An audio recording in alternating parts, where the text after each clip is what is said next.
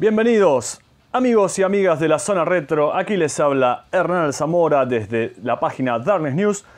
Y hoy, como verán, nos iremos directamente a los 80, año 1987, con una placa clásica, icónica, una de las obras maestras del heavy metal. Estamos hablando de la segunda producción de King Diamond, ya como solista. Se había ido de Merciful Fate, eh, había arrancado su carrera como solista. Hemos reseñado hace más o menos un año y pico su primera producción. Bueno, le dejamos el link por aquí abajo por si no lo han visto. Y hoy es el turno de la segunda placa. ¿Por qué? Porque está cumpliendo nada más ni nada menos que 35 años. No podíamos dejar pasar esta efeméride tan especial para la historia del heavy metal que tanto nos ha marcado. Yo había conocido a King Diamond allá por finales de los 80 también. Este, salgo aquí en, la placa con esta revista, una revista española llamada Metálico o Metalli Knockout, donde, si bien ya lo había visto también eh, en algunas notas que hacían en las Metal Hammer y demás, esta fue la primera vez que lo tuve en mis manos así tan de cerca y pude leer una reseña de un show, de show presentación directamente de esta placa tan icónica para King Diamond. Y fue ahí que empecé a inmiscuirme en sus caminos. Estamos hablando hoy de un disco que es fundamental en, no solo en su historia, sino en la historia del metal, porque es una obra conceptual, una de las obras conceptuales más importantes que hay en la historia del metal. King Diamond en su placa anterior, que recién les había mostrado, había arrancado ya con un concepto de llevar un disco hacia toda una temática, pero bueno, en ese disco lo había hecho solamente en una cara, o sea, en la mitad de los temas del álbum. Este ya directamente había plasmado todas sus ideas, era algo que ya venía pensando desde Merciful Fate y aquí lo logró hacer. Todo sale, cuenta él, de una noche que se despertó de una pesadilla tremenda y dijo, tengo que anotar esto, tengo que escribir esto, porque había muchas cosas que le habían quedado en la cabeza para terminar de tejer una historia. Y así fue que nació el disco este, Abigail. Él se levantó directamente empezó a escribir, escribir, a escribir todo lo que recordaba de la pesadilla. Y más o menos de eso se trata este disco. Hay un montón de, de reseñas en YouTube y en un montón de lados que explican la historia de qué trata directamente este disco. Así que se los voy a contar medio así nomás para no, hacer, para no hacerlo aburrido, lo mismo de siempre. Ahora le voy a mostrar todas las, ediciones que tengo de esta placa icónica. Y bueno, trataba, era algo así, como una historia clásica, típica de terror de, los 80s, de los 70s, toda esta onda que tenía King Diamond, obviamente su lado bien satanista, ¿no? Ya con el maquillaje, con las cruces invertidas y demás. Cruces que, también tenemos aquí, ahora se los mostramos en la carreta, nueve crucecitas hay un costado. Estaba muy basado en la numerología esto, él estaba totalmente fascinado con la numerología y el poder de la magia detrás de los números. Nueve es precisamente, nueve sería así, no sé. Bueno, nueve es precisamente, que también hemos reseñado el disco 9 de Merciful Fate, que también lo pueden buscar en la zona retro mucho más abajo. Este, 9 es su número preferido, se podría decir, es un número súper mágico, un número muy que ha marcado mucho toda la, onda del ocultismo ¿no? en la antigüedad. Por eso él hace mucha referencia a este número desde la edad de, la edad de los personajes, ¿no? descomponiendo, se dice, los números, eh, siempre va a dar nueve. Eh, nueve canciones son las que están en el álbum. Eh, nueve va a ser el número final también de la duración. Si unimos la duración de todos los temas, y también descomprimimos los números o descomponemos los números, también nos va a dar 9. Las fechas desde, desde que están armadas esta historia, vi un montón de cosas. Está súper, súper enroscado en este tema de la numerología y eso lo hace mucho más siniestro al disco, ¿no?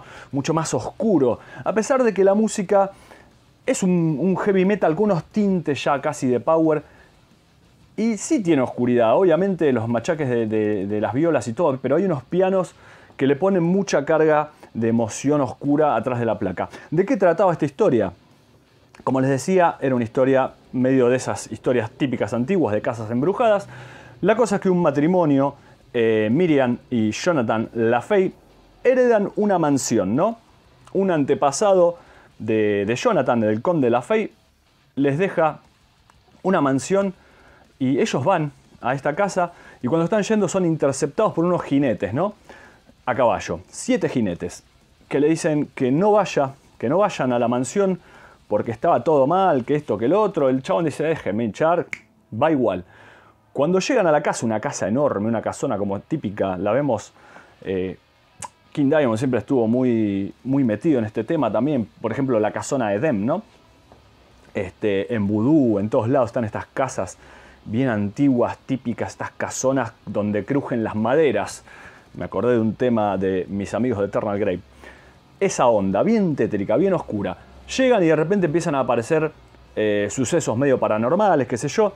La cosa es que a Jonathan se le presenta el fantasma este de su antepasado y le empieza a quemar la cabeza a decirle, loco, deshacete de tu mujer porque tu mujer está embarazada y la criatura que está naciendo en ella es un demonio de una niña llamada Abigail, que es lo que me había pasado a mí con mi mujer, que el tipo la había terminado tirando por las escaleras y ella moría, ¿no? Después de, este acto.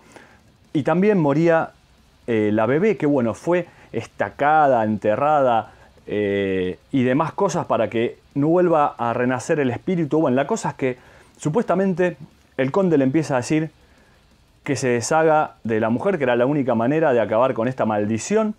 Resulta que Miriam es verdad que estaba embarazada, él no lo sabía, de repente se empieza a, inflar el bombo, qué sé yo, y dice, uh, el otro le sigue quemando la cabeza.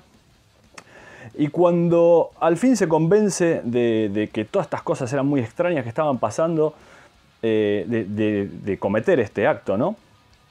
Este asesinato, ella se adelanta y lo tira a él por las escaleras. El tipo rueda, qué sé yo, se hace mierda, muere ahí y ella da a luz. Da a luz y nace Abigail. Cuando da a luz, ella muere. Entonces, los jinetes, esto lo estoy contando muy rápido en un tiempo que parece súper corto, es un poco más largo. Llegan los jinetes a la mansión y se encuentran con una escena dantesca. Estaba la bebé alimentándose directamente del cadáver de la madre. Bueno, la agarran, qué sé yo, de nuevo con las estacas, le meten una en la boca también, la entierran, qué sé yo, pum. Así, les voy a comentar ahora, es como empieza esta placa icónica de King Diamond. Tremendo. Empieza directamente con un diálogo de estos jinetes en una especie de, ritual que se llama funeral, donde hablan de todo esto que les estoy contando, de la historia final, o sea, sería como que empieza con el final de la historia y luego empiezan a contar todo esto en Arrival. Este es un temazo, directamente vamos a encontrar las voces de King Diamond bien clásicas, esas voces súper agudas, estos de tómala o tómalo o déjalo, como ya habíamos dicho en la otra reseña, pero nadie puede negar que es interesantísimo lo que hace este tipo, cómo encarna cada personaje, cómo, cómo va hablando con sus voces, las risas que hay en el disco son súper satánicas, siniestras, ¿no? Y las voces están bastante, bastante al frente. Por eso podemos notar bien cómo se contestan estos, estos climas, estos detalles de, casi de diálogos, ¿no? Entre su propia voz. Es tremendo. Otra cosa muy importante también son obviamente las guitarras. Es un tema que Andy LaRocque llegó a, a laburar muchísimo en este disco, en las composiciones, y dejó para mí una de las mejores placas de King Diamond. Para la gran mayoría este es el disco preferido de, de casi todos sus fanáticos, ¿no? Míos están ahí, yo tengo la verdad que esta trilogía que se viene entre Demi Conspiracy y este son todos álbumes de 10 puntos, ¿no? Uno puede elegir uno u otro, pero nadie puede negar que son discasos. Es tremendo lo que les decía de Andy, los palancazos, los como tira con las palancas, que es una, una, no es que lo inventó él, como Van Halen que dice que no inventó, no, que dicen que no inventó el tapping, pero sí es su marca registrada, lo mismo que el juego este de, vibrato de palancas de Andy. Es tremendo, es tremendo los cambios de, de tiempos que hay en el tema, los solos, los solos que se comparten también son geniales, los bajos también, Timmy Hansen, el, hombre del parche que falleció en el 2019, si mal no recuerdo, creo que justo antes de la pandemia. Este, también son muy buenos. Cómo se va metiendo, cómo va dibujando, ¿no? Entre todas estas melodías siniestras y las baterías, obviamente, lo tenemos aquí a un monstruo, un grosísimo también, de los tambores. Estamos hablando, obviamente, del señor Mikey D. Mickey D, baterista de Motorhead, luego se iría de acá a, a tocar con Lemmy. El tema que seguía era A Mansion in Darkness. Los bombos, los bombos tremendos y las melodías de las guitarras, inclusive, nos pueden hacer acordar un poco, antes les había citado el power metal. Tiene un poco de power metal esto, ya está un poco más separado. Esto es lo que separa, creo yo, la carrera de King Diamond a la carrera de Merciful Fate. King Diamond es un poco más melódico, ¿no? Merciful Fate es un poco más rockero, más oscuro, un sonido más crudo. Y esto tiene tintes de, power metal, del power metal true, obviamente, de época, ¿no? Es un temón. Y si no, fíjense y escuchen la parte de los solos de guitarra y las bases de, las violas también. Y díganme si mientras están haciendo los solos se le prestan atención a las bases de viola, díganme si eso no les hace acordar a la banda Halloween, ¿no? al tema Halloween inclusive, o a sus primeras placas también. Para mí hay mucho de eso aquí en este disco. El tema que seguía era The Family Ghost. The Family Ghost es un hitazo tremendo de King Diamond, infaltable en sus shows y demás. Un tema que tenía un videoclip que había rotado en MTV, un tema que, que su video eh, era medio bizarro también. Cosa que a King Diamond no le había gustado mucho que el sello haya metido un poco de mano en la historia del videoclip. Y después de aquí en más, esto no volvería a pasar. Temazo de Family Ghost, The Seven Day of July. ¡July! Como gritaba tremendo. Of, mil, de 1777, donde estaba ubicada eh, esta historia, el comienzo de esta historia en realidad, ¿no? Un tema con unos arpegios muy oscuros, las palancas clásicas de, Andy, esos, esos sonidos únicos de él, los solos que a veces también se volvían un poco neoclásicos. Había mucho de metal bastante clásico, bastantes cambios clásicos también dentro de las estructuras. Tanto estoy diciendo clásicos que voy a decir que hay cosas, patrones clásicos de Mickey D también, que son muy de él, ¿no? Esos contratiempos, esa cosa de dar vuelta a los tempos, que lo, hizo muchísimo también en Motorhead, es como su marca registrada, ¿no? A pesar de ese, de también eh, la marca, otra marca registrada, es el poder con que le pega. Pero esa, esa cosa, creo yo, de jugar, de dar vuelta a los tempos de, de la bata, son muy, muy típicos de él. Y bueno, ya se notaba mucho también desde esta época. Omens, un tema que me encanta, un tema casi progresivo, ya había mucha, mucha música elaborada en King Diamond y unos teclados también que le daban una atmósfera, un clima y también le daban un toque así medio tradi progre del muchacho este de Roberto Falcao, que era quien había estado laburando en el disco, ¿no? Desde, desde la producción, desde el estudio, y quien también había metido los teclados, y un personaje que, que hizo muy buenas migas con la banda y con King Diamond, en esta época que cayó perfecto para redondear la onda del disco. Temazo. Temazo, temazo. Deadly Omens. Me encanta este tema, tremendo. The Possession. Mickey D hay que sacarse el sombrero aquí porque este tipo es un genio. Lo que toca, lo que hace con, los Rise también, que es otra, otra cosa bastante clásica de él de, jugar con las campanitas, ¿no? La pegada, el power, ya se siente el poderío con que le está dando a la batería los doble bombos tan prolijos, tan parejos, los rulos, ¿no? Cómo se movía por todo el kit de la bata con un golpe tan certero, tan prolijo y tan, tan poderoso, ¿no?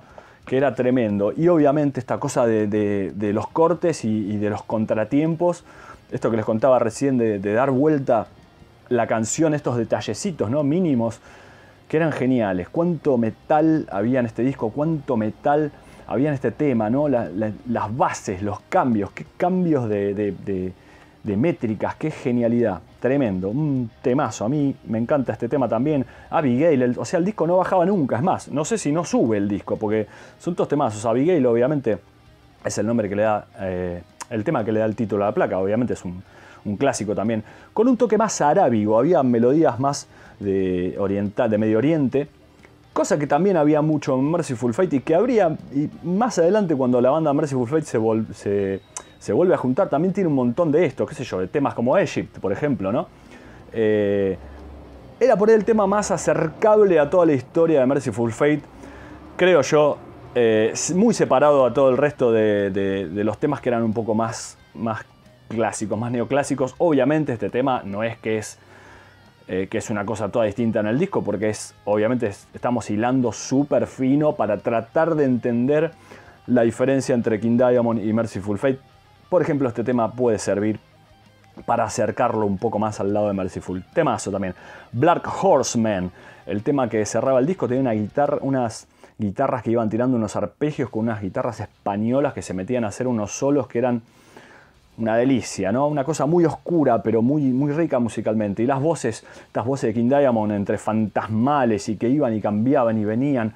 Otro temazo, otro temazo lleno de, cambios en los temas, lleno de, cantidad de, voces de King Diamond, con bases muy heavies, con, con, bases que hasta también a veces me hacían acordar un toque a las bases musicales, ¿no? Por ahí al solo, ¿no? Las bases de los solos, muy a la onda In by Malstein, ¿no?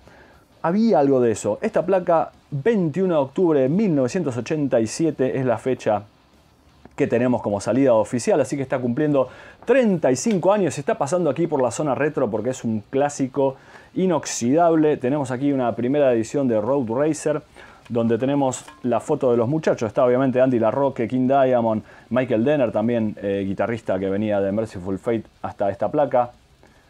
Y lo tenemos a Timmy Hansen, aquí lo ven con el parchecito en el ojo. Bueno, y Mickey D, obviamente. Eh, este es un disco de esos de, época que todavía venía con las publicidades. Esta publicidad de, de, y Sepultura la debo tener en cantidad de discos. Mandaban siempre la misma, no sé por qué. O querían vender ese disco o no, esos discos, o se vendían mucho o querían venderlos más, o habían hecho muchas remeras, qué sé yo. Tenemos una edición de Abigail remasterizada, es una edición local, medio capocha. Este, tiene la misma foto. Bueno, está supuestamente remasterizado, no hay mucho cambio en el audio. Pero tiene algunos temas más, como por ejemplo el tema eh, Shrine, Shrine, que es un tema que había quedado afuera del disco. ¿Por qué? Porque como les decía antes, ya estábamos con los nueve temas, tenía que ser nueve. Y aparte porque se escapaba, se salía de la historia conceptual del trabajo. Así que quedó afuera, pero es otro temazo tremendo. Tenemos eh, A Mansion in Darkness, The Family Ghost y The Possession, tres clásicos de la hostia, en su versión eh, bonus track, como Rook Mix, unas mezclas más crudas, donde no está, donde no está falcado este, y se nota todo un poco más opaco, seco, pero está buenísimo también para para entender todo lo que, lo que está laburando King Diamond de las voces, pues están bastante al frente. ¿no? En el disco están muy al frente, pero creo que en esas mezclas están también un poquito más al frente. Tenemos un, tape también aquí. Eh, este es el más. Acá tengo uno que está un poco mejor. este es también una primera edición del 87, ¿no? Esta sí está inmaculada. Y, y bueno, el librito con el Stop the Madness, que lo he, comentado un montón de veces, ¿no? De, esta campaña en contra de las drogas pesadas que largaban desde el disco Roadrunner, Roadrunner o Road Racer o RC, como quieran decirle, depende el país donde esto se editaba. Les voy a mostrar el vinilo aquí. También... Eh, ah, esta edición, ¿dónde está? Esta en realidad es un 10 aniversario también, la edición está remasterizada y esta es como un 20. Así que trae las mismas fotografías. Un disco vinilo, ¿cuánto voy de tiempo? 19 minutos, me fui al carajo. Eh, un vinilo clásico negro también de 180 gramos. Que trae un pequeño insert. Medio flojón porque no pusieron nada en la parte de atrás, pero sí tenemos las letras al frente que nos cuentan toda esta historia que hoy les hemos repasado aquí levemente desde la zona retro. Un disco tan grosso, tan icónico, que bueno, tuvo, tuvo su gira de conciertos, como les mostraba antes desde esa revista, con el grosísimo In Concert 1987 de Abigail, que algún día voy a hacer alguna reseña de discos en vivo y ese tiene que entrar. Bueno, espero que lo hayan pasado bien. Nos vemos la semana que viene. Aguante el rey, muchachos, muchachas.